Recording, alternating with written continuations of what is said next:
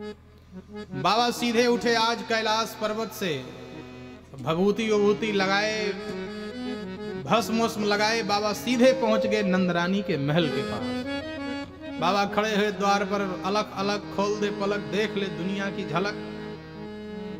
डमरू बजाना बाबा ने प्रारंभ किया निकल कर दासी आई, क्या बात है बाबा? बाबा ने कहा, अंदर जो मैया यशोदा है ना, उसका जो लाला है, उसका दर्शन करना है। दासी आई तो आधा किलोमीटर दूर से बात कर रही है। भगवान भोलेनाथ की जब बारात गई ना तो ऐसा गाँव में लग रहा था जैसे आतंकवादी हमला हुआ हो। लड़के भागे, जीव और परांग ले लेके और रजाई ओढ़ के पल्ला बंद करके सो गए। बोले, माई जाना नहीं, मर जाओगी देख के। दासी दूर से बात करी, क्या बात है? बोले, लाला को देखना है। मैया ने पूछा कि कौन आया? बोले कोई बाबा आया है। और वो बाबा बड़े बड़े सांप बिच्छू बाघम्बर मुर्दा का भस्म लगाए हुआ है। भैया ने जाके कह दो कि जो चाहिए आटा भाटा ले जाओ, रुपया पैसा चाहिए तो ले जाओ, दर्शन नहीं मिलेगा। दासी ने कहा, माफ़ करिएगा, मैया ने रोक दिया है, लाला भी छोटा है, आपके इस स्वरूप को देखकर हम लोग डर जा रहे हैं वो तो अभी सात दिन का या दस दिन का हुआ है, इसलिए दर्शन नहीं मिलेगा। बाबा ने सोचा, ये क्या हो गया? अब क्या करें? स्वभाव, स्वरूप तो बदल नहीं सकते। बाबा बाहर ही खड़े हैं और बाबा के आने का समाचार भगवान को मिल गया। देखो, जब जब भगवान का अवतार होता है, तब तब बाबा आते हैं। राम जी का अवतार हुआ था, तब भी बाबा आए थे। और अयोध्या में भी वही दशा हुई थी। काक भुसुंडी के साथ बाबा भोलेनाथ आए, खड़े हुए उधर फैजाबाद में, और धक्का मार के पहुँचा दिया गोंडा तक। इधर से मारे उधर उधर से मारे इधर। क्यों? क्योंकि जही दिन राम, जन्म श्रुति गावई। श्रुति गावई जही दिन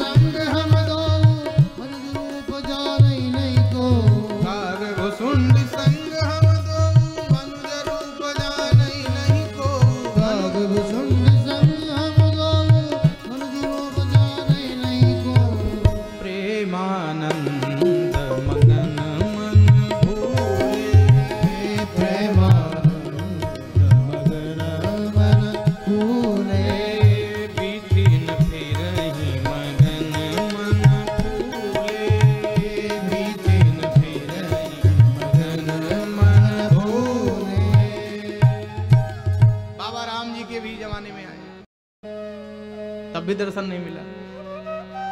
इधर से उधर उधर से उधर उधर से उधर। काक भुसुंड भी साथ में थे। तो सोचा कि अब क्या करें, बिना दर्शन के तो जाएँगे नहीं। तो बाबा सरजू के किनारे बैठ गए और ज्योतिषी बन गए। ज्योतिष की विद्या बड़ी अच्छी होती है। ट्रेन में जगह ना मिल रहा हो और हाथ देखना शुरू कर दो। और सबसे ज़्यादा हाथ दिखाने में ये माताएँ आगे हैं। महाराज, हाथ देखना जानते हो? हम क्या जानते होते तो अपने देख लेते। बाबा ने कहा, चलो ज्योतिषी का काम बढ़िया है। दो चार बात बताना है कि पैसा आता है लेकिन रुकता नहीं है।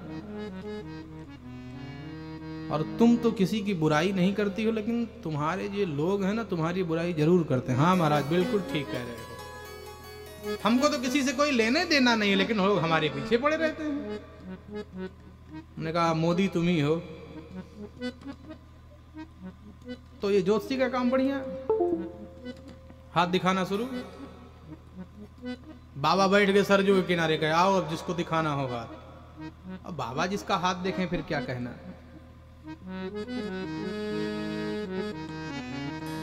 एक जगह हम गए तो माता जी ने हमसे कहा, महाराज, कुछ जानते हो? हमने कहा, क्या? कुछ बताना जानते हो तो बता दो। तो हमने कहा क्या जानना है? तो बोले कि "हम्म, विवाह नहीं हो रहा है। तो हमने कहा कि हम बाबा हैं तो हम यही बता सकते हैं कि भगवान कैसे मिलेंगे? तो बोले वो तो हम भी जानते हैं। तो हमने माता जी से कहा कि यही तो समस्या है कि जो हमको जानना चाहिए वो आप जानती हैं और जो आपको जानना चाहिए वो हम जान रहे हैं। अब विवाह कैसे होगा ये हम बताएँ और भगवान कैसे मिलेंगे वो आप बताएँगे। हमने कहा, पाँच लाख रुपया तो एक अनुष्ठान करा दे, हो जाएगा। बोले, वो ठीक नहीं है, बिना ब्याह के ठीक है। तो ये सब समस्या है। जिम्मेदार आप खुद हो। जो लोग कहते ना, बाबा ऐसा करते हैं, बाबा इनको लूट लिए, वो नहीं लूट लिए, तुम लूट गए। बाबा का मतलब साधु का मतलब ये है, जो भगवत संबंधी चर्चा करे, भगवान के बारे में कुछ बताए। संत की पहचान और संत की सेवा इसीलिए होती है क्योंकि वो भगवान के दूत माने जाते हैं। और तुम उनसे जाके पूछो कि ब्याह कब होगा? उनका खुद ही नहीं हुआ तो और कहाँ से कराएँगे? इसलिए फालतू की बात नहीं करनी चाहिए। अपने कर्म और अपने भाग्य पर भरोसा करो। कर्म अच्छा करोगे तो अवश्य में भोक्तव्यम कृतम कर्म सुभाषु तुम्हारे कर्म अच्छे होंगे तो भाग अपने आप बदल जाएँगे। कोई भाग भाग नहीं बनाता है। इसलिए बाबा बन गए ज्योतिषी और ऐसा हाथ देखना प्रारंभ किया, पूरे अयोध्या में चर्चा। एक बहुत बड़ा ज्योतिषी आया है। कैसा है? बुढ़ा है। अच्छा साधु बुढ़ा हो तो उसकी पहचान, उसकी पूजा ज़्यादा होती है, बच्चे की कम होती है। दाढ़ी पकी हो तो चाहे उसको ककहरा ना आता हो, बहुत बड़े बाबा हैं। तो बाबा कैसे हैं? कहा, बूढ़े हैं। अरे, तब तो फिर बहुत ज़्यादा जानकार होंगे। मैया की एक प्रधान दासी सामने से आई और लोगों ने कहा कि बहुत बड़े ज्योतिषी हैं, इनको हाथ दिखाओ। जैसे ही हाथ दिखाया, बाबा ने भूत भविष्यमान वर्तमान सब बता दिया। प्रसन्न हुई वो दासी, मैया कौशल्या के पास दौड़ करके गई, कहा, माँ, एक ज्योतिषी आया है। एक काम करो, अपने इन चार कुमारों का हाथ दिखा दो। और वो दासी मैया से कहती है, माँ, अवध आज आगमी एक आयो अवध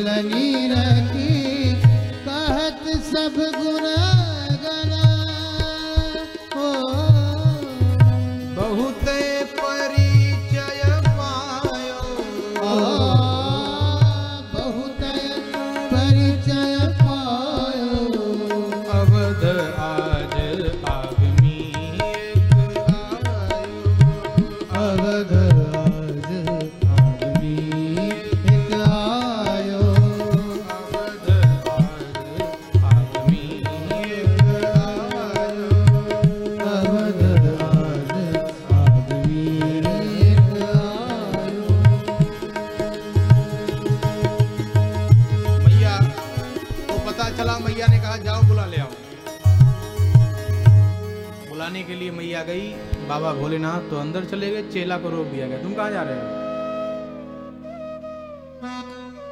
तो काक भुसुंड जी ने कहा कि हमको भी ले चलो बाबा। अरे बोले, तुम्हारी एंट्री नहीं है यहाँ।